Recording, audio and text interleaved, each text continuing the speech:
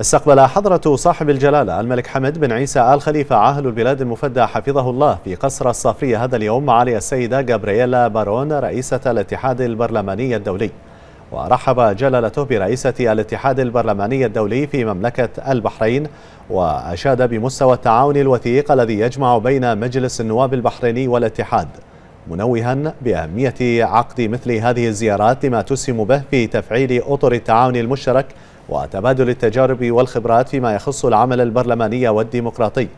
وتطرق جلالته خلال اللقاء إلى الإنجازات الديمقراطية الرائدة والنجاحات المهمة التي حققتها البحرين ضمن المشروع الإصلاحي على أكثر من صعيد خاصة في المجالات البرلمانية.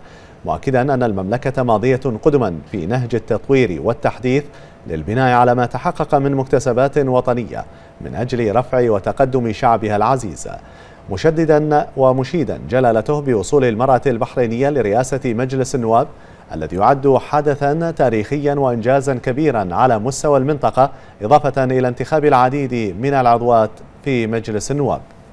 وأشاد جلالته بما حققته المرأة البحرينية من إنجازات وما وصلت إليه من مكانة عالية في مجتمعها وأن هذه المكانة نابعة من كفاءتها ووعي أهل البحرين وتفهمهم واحترامهم لدور المرأة منذ عقود طويلة.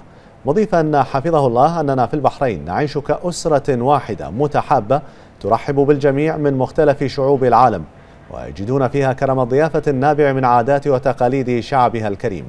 متمنيا لرئيسة الاتحاد البرلماني الدولي كل التوفيق في زيارتها للمملكة للاطلاع على التجربة الديمقراطية الرائدة والنابعة من إرادة وقناعة أهل البحرين وتوافقهم عليها.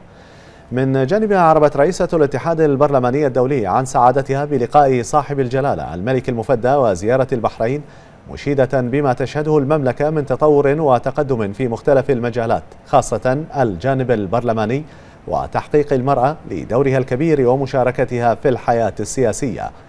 كما أشادت بالتعاون القائم بين الاتحاد البرلماني الدولي ومجلس النواب في البحرين معربة عن ترحيبها بانتخاب معالي السيدة فوزية زينل رئيسة مجلس النواب مما يعكس ما تتمتع به المرأة البحرينية من دور مهم ومكانة رفيعة في مملكة البحرين.